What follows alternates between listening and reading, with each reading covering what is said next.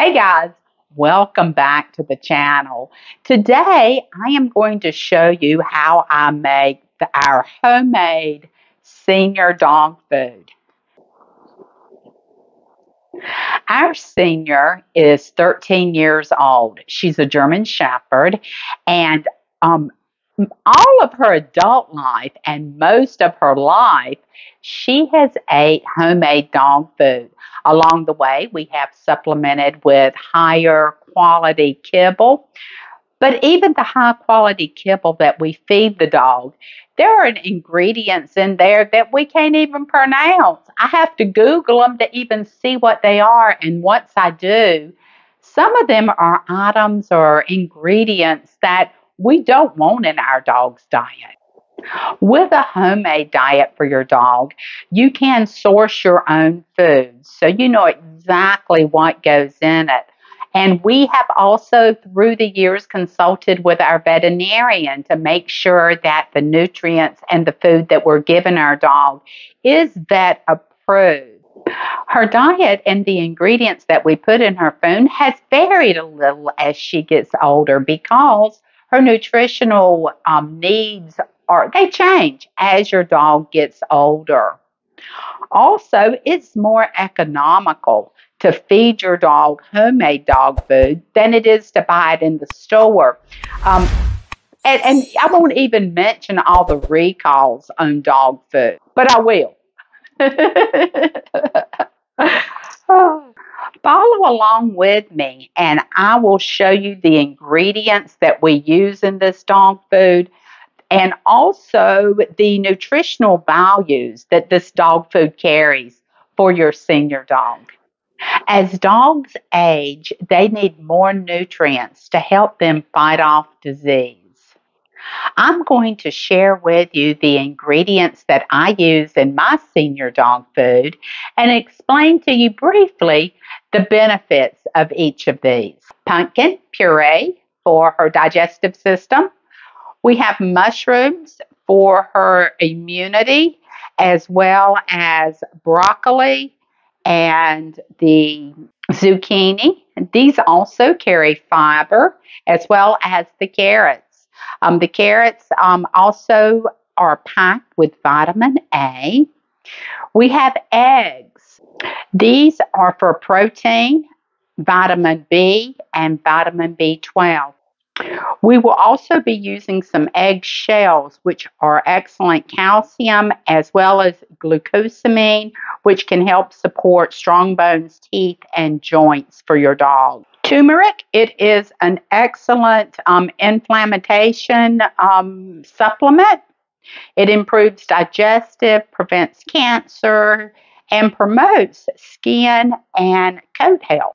Our meats that we're using in this senior dog recipe is skinless, boneless chicken thighs. This is the protein. We are using a low fat, which is the skinless. We have the salmon, which is for her omegas. This is excellent um, minerals and nutrients for the dog, as well as their skin and coat. We have the organ meat. We have chicken hearts and livers. This is a multivitamin in your homemade foods. This is packed full of vitamins A, B, D, E, as well as some of your um, trace minerals like copper and iron and zinc. And then additional protein, we are using a 90% lean ground turkey.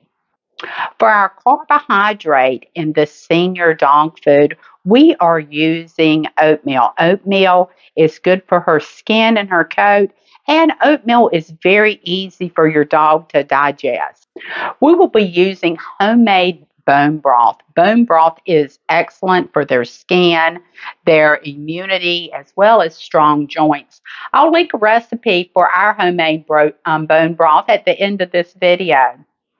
We are using flaxseed. We're using about three tablespoons here. And flaxseed, um, the omegas help to reduce inflammation, good for their skin, allergies. It's also an excellent um, boost in nutritional value for all of your homemade dog food. Also, for their immunity, I am using a little bit of thyme, a little bit of sage. Now, with the turmeric, you've got to have a little bit of black pepper.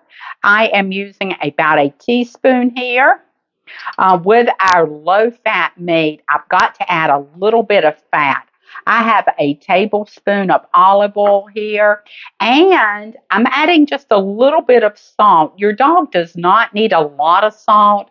We are adding about a teaspoon, and they do need salt in their diet.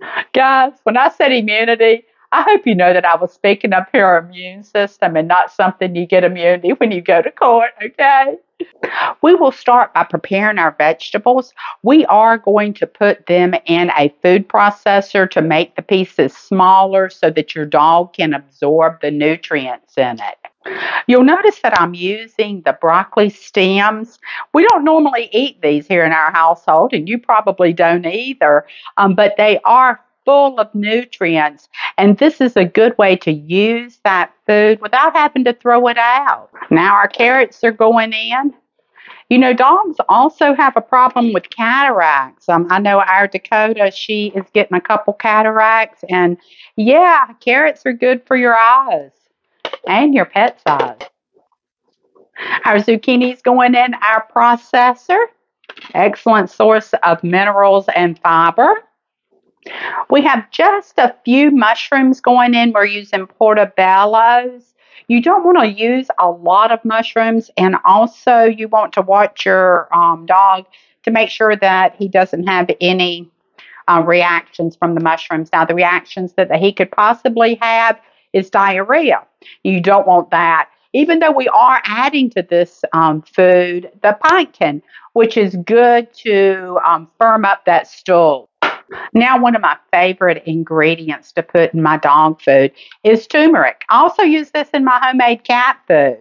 This is um, turmeric that we have grown in our backyard.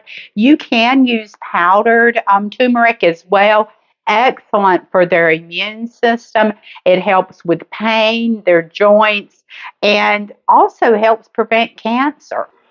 Got to add a little bit of pepper so that it makes that this turmeric um, absorbable in your dog as well as in humans.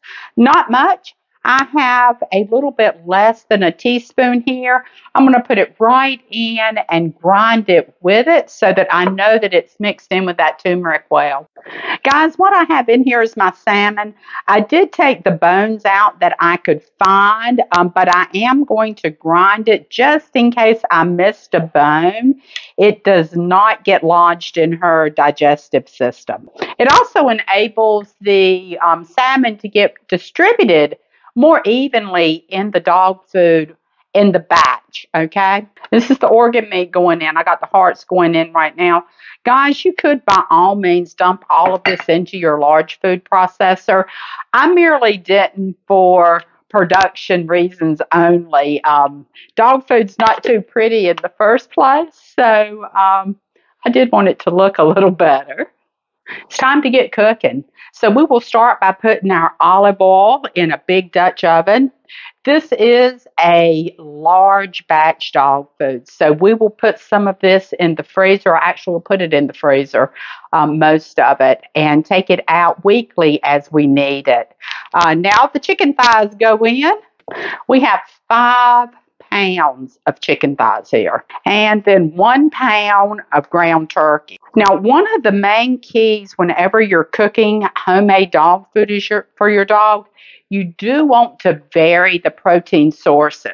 We will add our bone broth, and then we're going to cut the burner on medium to medium high and let this meat cook for probably take approximately 30 minutes. We are 20 minutes into the cook, and right now I am chopping up the meat some. Uh, I like my meat pieces a little bit smaller for Dakota.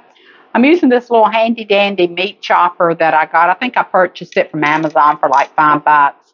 Um, if your dog is losing teeth or if he or she has lost teeth, you can use an emulsifier and make this into a pate. So you can still do home cooked food for your toothless little dog. For the last 10 minutes of the cook, we're going to be adding our organ meat and our salmon. We will also be adding our spices. So that's our sage, our flaxseed. You guys know how good that flaxseed is. Make sure that you used a ground flaxseed.